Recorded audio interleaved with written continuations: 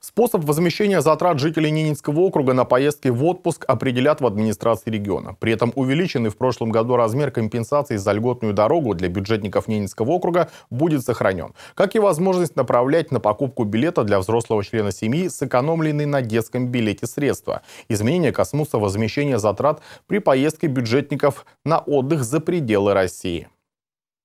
Верховный суд Российской Федерации принял решение, в соответствии с которым норма оплаты проезда, а также оплаты стоимости провоза багажа к месту использования отпуска за пределами территории Российской Федерации и обратно признана противоречащей федеральному законодательству. Она была предусмотрена соответствующим положением администрации Ненецкого автономного округа. Речь идет о той части нормативного документа, которая допускала возможность оплаты проезда, а также оплаты стоимости провоза багажа к месту использования отпуска за пределами территории Российской Федерации и обратно. Решением Верховного Верховного суда власти региона лишены права оплачивать льготный проезд жителей округа на отдых за границу. 23 э, января Верховный суд Российской Федерации принял решение и признал несоответствующим законодательству Российской Федерации часть порядка по льготной дороге, которая предусматривает компенсацию затрат жителям округа в раз в два года. Э, в связи с этим администрация округа Э, исполняя решение суда, э, Верховного суда Российской Федерации, сейчас ведет работу по приведению в соответствии с законодательством и решением Верховного суда положений по льготной дороге.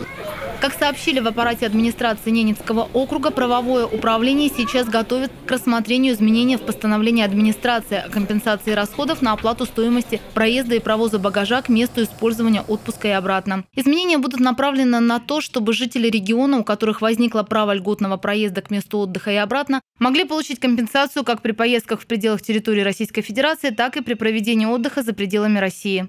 При этом компенсация проезда будет производиться до границы. Соответственно, основной акцент, который мы хотим сохранить, это заключается в том, что денежная компенсация в 3, 45 э, тысяч рублей она будет сохранена. Соответственно, будет сохранена часть, э, которая идет по учету по семье. Мы понимаем, что детям билеты дешевле, и мы эту часть также сохраним.